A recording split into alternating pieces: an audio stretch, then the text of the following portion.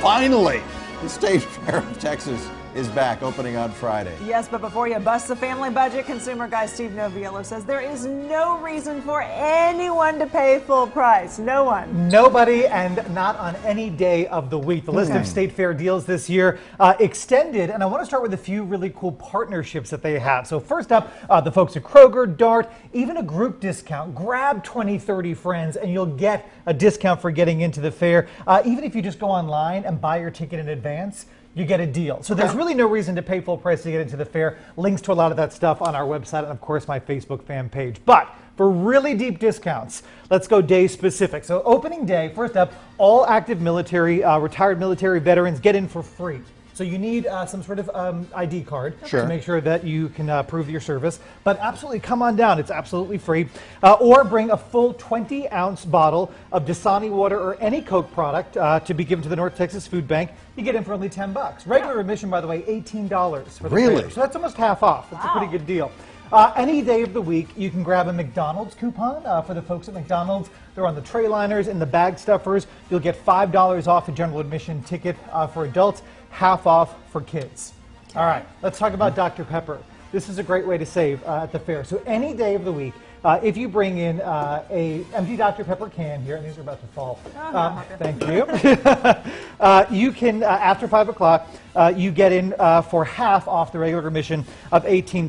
Now, if you want to go earlier in the day, uh, bring an empty can on Tuesdays, uh, and you get in for 6 bucks. The nice thing about Tuesday as well, reduced ride prices on the Midway. So Tuesdays are generally a little slow at the Sure fair, they so they want folks to come out. So not only will you get in for less, but you'll spend less money uh, when you're Tuesday. there. Uh, on uh, Wednesday, uh, you can bring in four cans of food for the North Texas Food Bank. Okay. You get in for four bucks. Great way. This is one of their biggest collection days uh, I of the entire year. Now Thursday, folks. Thursday is the day to save. First up, seniors 60 and older get in for free. Oh. Free, okay? Bring in an empty 20 ounce Coke product and you'll get in for $7. That's $11 off the admission price. So if you're over 60 and you bring that, then they pay you to come in. So that's a good question, and let me let me uh, clear this up. None of these can be combined with any other offer, Tim Ryan. So the state fair is not going to pay got you. free.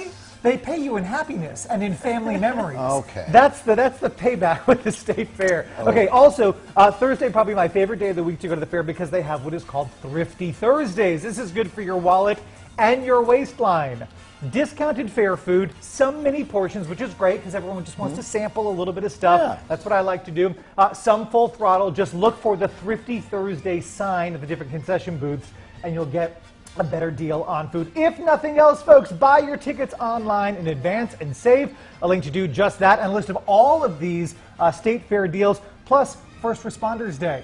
October 13th. You're going to want to check it out right now when you come see us online. Uh, Fox4News.com. And of course, when you follow me, Facebook.com slash Save Me Steve. And the fair opens when? Friday, Friday, Friday. Friday. Can't wait. Thanks, All right. Noviello. You got it. We've got more to come here on Good Day.